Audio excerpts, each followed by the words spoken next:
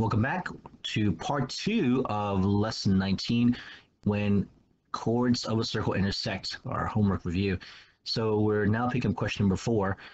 In diagram circle of circle O, measure of angle NQM equals 103 degrees. If the measure of arc LP is 30 more than the measure arc, LM, arc MN, then the measure, uh, then determine the measure arc MN show how you arrive the answer. Now, very important to read our questions very carefully, okay?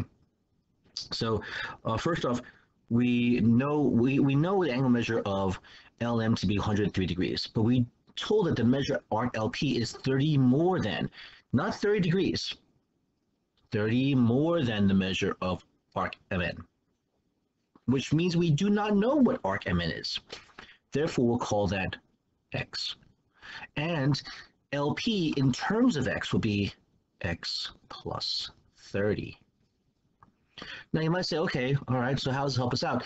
If you remember we went back to before, the idea that the measures of the measures of the uh, of a measured angle formed by two chords intersect is equal to the sum of the arcs intersected by the angle and its and its uh, vertical. Uh, again, I have that right here. Okay. In a circle, two chords intersect. The measure of an angle formed is equal to one half the sum of the arcs intersected by the angle and its vertical. Okay. And here, we're talking about angle APC. We also know angle BPD is vertical. And therefore, the we need to talk about the arcs intersected by both of those angles and take the sum of those angles, so measure arc AC and BD and add them together. So the, we need to figure out both those arcs add together, divide by 2, is equal to the measure of the angle. And so let's go back to our problem. So in this case, we know that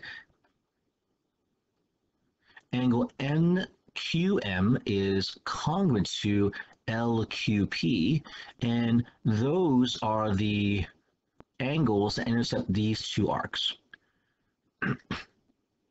So the measure of angle NQM equals one half the sum of the measure of arc NM plus the measure of arc LP.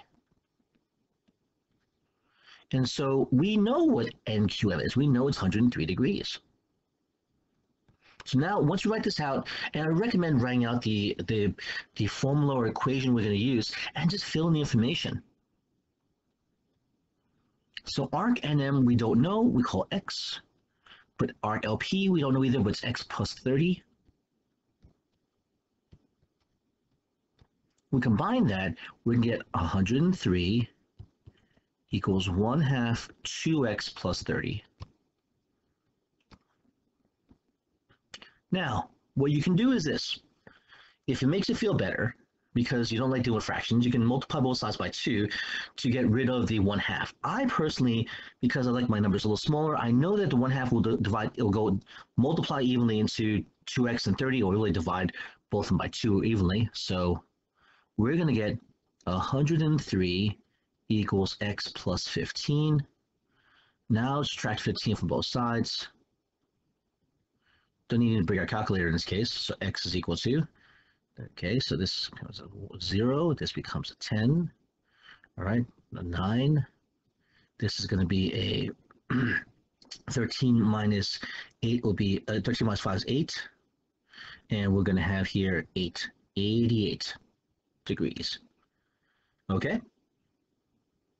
So we know in this case the measure of x was measure of arc mn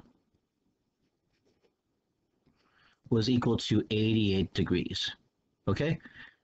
Using our information here, once we know our relationships, we can use them for our for our uh, uh, to help us solve our problems here. Okay, so real nice, very nice. Okay, now let's do question here, number five. Okay, now question number five. You had to draw your diagram here, so just like in uh, question number three. Circle A is a radius of nine units. Point R lies five units away from chord A.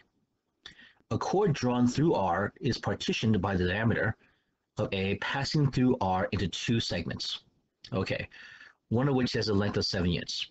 Is the length of the other segment longer or shorter than seven units? Justify your answer. Well, okay, so the key thing, first have to draw a diagram. So we had circle A, and drew, you drew, uh, you drew the, drew a circle and a, draw a diameter going through the circle. And then, so we're gonna call this, so we know the radius is nine, so we know that this measurement is nine. And then we're told that the distance from A to R is five. Now, keep in mind, since point A is the center of the circle, that would mean this measurement here, all right, that measurement would have to be four. Now you're saying, how comes four? Well, we know that the radius is going to be nine. And so this whole thing is a radius as well. Okay, so let's uh, you know, just to make things easier for ourselves, let's add some letters. Okay, so uh, so I'm gonna call this point P and call this Q. You don't have to use whatever letters you like. P and Q. Uh, I'm gonna use this um, um, M and N.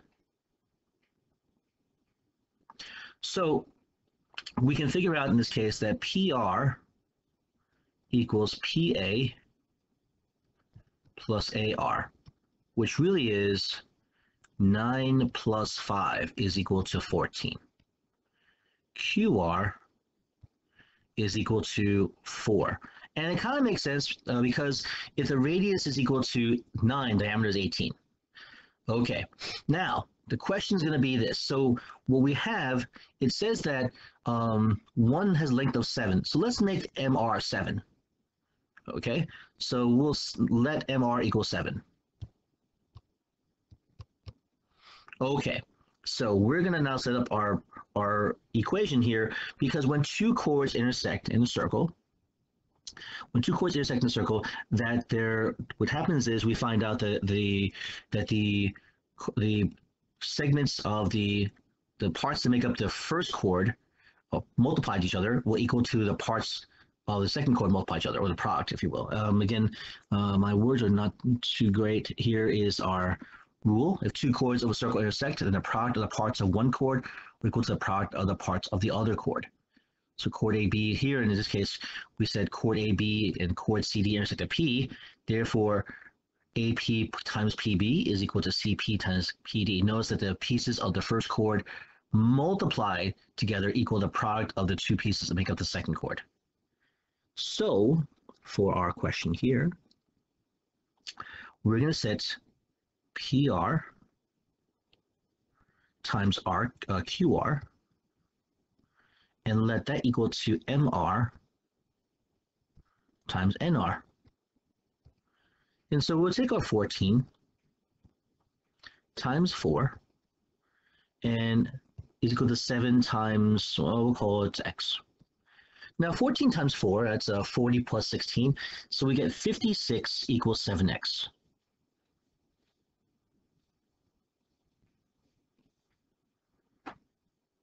Okay, 56 equals 7x. And we'll divide both sides by 7. Well, we know if we take 56 divided by 7, we should get 8. So, I had to check just to make sure it's early in the morning, ladies and gentlemen. So, is equal to 8. A nice number. And so we say in this case, our answer is the, the other segment Okay, so we respond in this case and make sure I use a, a smaller font here in our words because if I type everything up in my, my, my hand, it's going to be terrible. So here we go. Okay, why I need a smaller font? One of the smaller fonts. Here we go. The other segment is longer than the first segment that measured seven. Okay, right? Okay, now and then how we how we figure this out? No, move this out of the way. It's a little easier to read. There you go. Okay. We figured out because we looked at the relationship between the, the chords. Okay, so when two chords intersect, we know that they're that in this case that the product of the or the parts of the first chord must equal the product of the parts of the second chord, and we were able to find the first part PR by adding PA plus AR, knowing the relationship between the, the both parts of the PA and AR both lie on diameter, and therefore we can add the pieces together. You know, get uh, 9 plus 5 is 14, and the remaining part QR had to be 4 as well too. So, so we end up getting 56 equals 7x and x equals 8, which is longer than the other piece. Okay, ladies and gentlemen, this is where I'm going to end part two. Um, hope you liked the video. If you enjoyed this, if you found helpful, please put uh, add a like uh, to the video. Make sure you subscribe to get notified when and turn notification on to know when new content is added to our channel, especially if it's helpful to you. Also, please, if you have any other topics you'd like to go over, I would definitely would love to hear from you and may, maybe make a video on that as well too, if they're hopefully clarify, clarify things up. Okay, ladies and gentlemen, thanks for watching, and I guess always take care and be safe. Safe.